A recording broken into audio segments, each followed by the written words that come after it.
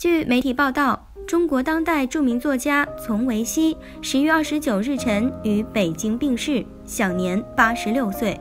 丛维熙一九三三年出生于河北玉田县城北戴官屯，曾任教师，做过记者、编辑，中国作家协会会员。